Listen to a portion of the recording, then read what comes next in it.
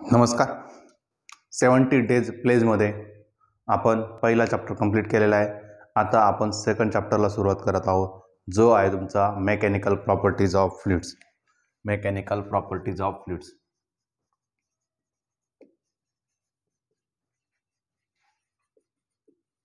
properties of fluid चला. फ्लुइडचं आपण मेकॅनिकल प्रॉपर्टीज चेकआउट करणार आहे. चला. फ्लुइड म्हणजे काय ते माहीत असणं गरजेचं आहे. फ्लुइड फ्लुइड म्हणजे काय which can be a substance a substance which can be flow which can be flowable and it does not have definite shape definite shape राहणार नाही. त्याला आपण काय म्हणतो? फ्लुईड त्याला काय म्हणतो आपण? फ्लुईड ठीक आहे? नंतरचा आहे.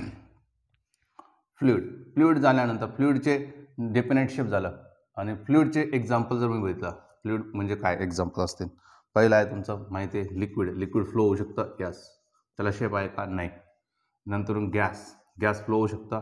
यस नंतर आहे तुमचा प्लाझ्मा हां?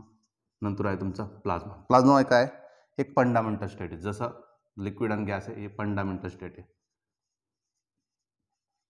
फंडामेंटल स्टेट ते. ठीक आहे? ह्याच्यामध्ये काय असतं? प्लाझ्मामध्ये काय असतं? प्लाझ्मामध्ये गॅसेसमध्ये, गॅस असतं. गॅसेस ॲव फ्री इलेक्ट्रॉन्स ठीक आहे? Gases of free electrons and neutral atom ज्याच्यामध्ये काय असतील? फ्री इलेक्ट्रॉन्स असतील आणि न्यूट्रल ॲटम्स असतील.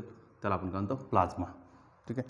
फ्लुइड्स फ्लुइडची जी स्टडी करणार आहे आपण फ्लुइडची जी स्टडी करणार आहे ते दोन बेसिसला करणार एक आहे तुमचा हायड्रोस्टॅटिक्स एक आहे तुमचं हायड्रोस्टॅटिक्स हायड्रोस्टॅटिक म्हटलं काय?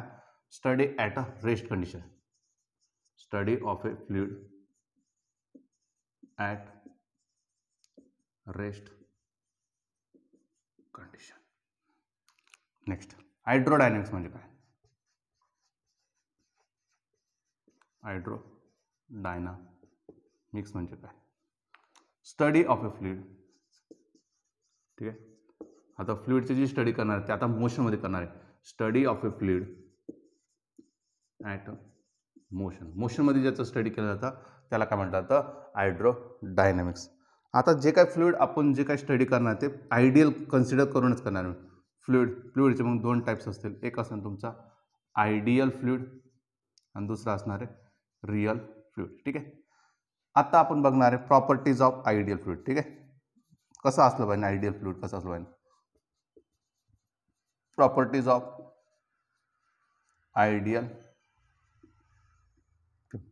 चला. पहिला जो आहे इरॅशनल असणं गरजेचं आहे. इरॅशनल इरॅशनल म्हणजे काय? Flow should be smooth flow कसा असला आहे flow should be smooth smooth जर फ्लो असेल त्याला काय म्हणतो आपण? इरॅशनल फ्लुईड जर स्मूथ असेल तर त्याला आपण करणार इरॅशनल नंतर आहे तुमचा इनकम्प्रेसिबल नंतर आहे तुमचा इनकम्प्रेसिबल इनकम्प्रेसिबल म्हणजे काय? त्याची डेन्सिटी ऑलवेज कॉन्स्टंट असला आहे. Fluid density always constant fluid density always constant जसं मला माहिती आहे डेन्सिटीचा फॉर्म्युला काय? मास पर व्हॉल्यूम आणि याचे जे व्हॉल्यूम असतं याचं जे व्हॉल्यूम असतं व्हॉल्यूम कॉन्स्टंट असतं. व्हॉल्यूम कॉन्स्टंट असेल तर मास तर तुम्हाला माहिती आहे कॉन्स्टंट आहे व्हॉल्यूम पण कॉन्स्टंट आहे.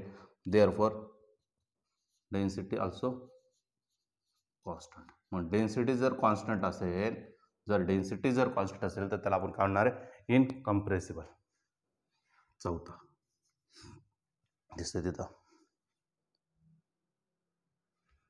चौथा जो आहे नॉन विस्कस नॉन विस्कस आता नॉन विस्कस म्हणजे काय internal friction between internal friction between two layers is not exist exist राहणार नाही दिसतंय का internal friction between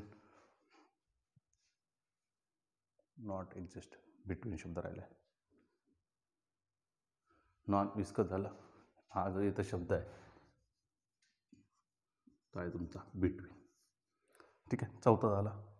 हे तिसरा झाला. ठीक आहे. कसा झाला? तिसरा. चौथा जो आहे इरॅशनल झाला इनकम्प्रेसिबल झाला नॉन विस्कस झाला. नंतर आहे तुमचा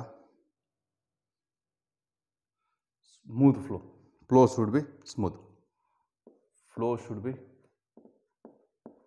flow should be smooth flow कसा असला पाहिजे तुमचा? स्मूथ असला पाहिजे.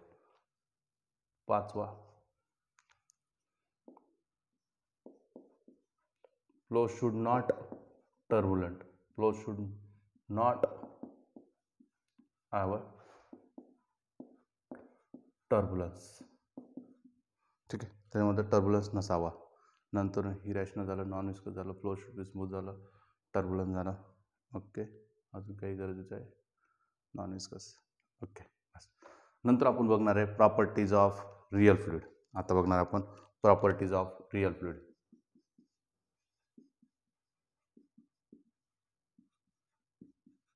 ideally असं अपेक्षित आहे पण असं राहत नाही. मग काय होतं? It should be it should be permanently deform ते काय असतं? परमनंटली डिफॉर्म असतात. Permanently deform. आता डिफॉर्म म्हणजे काय? डिफॉर्म म्हणजे काय? It changes. It changes. Its shape. त्याचा शेप काय करणार? तो चेंज करणार. Applying external force. जर एक्सटर्नल फोर्स अप्लाय केला तर काय झालं पाहिजे? त्याची शेप चेंज केली पाहिजे. त्याला काय म्हणतो आपण? डिफॉर्म. ठीक आहे. Next. it should be permanently between it does not oppose the deformation it does not oppose the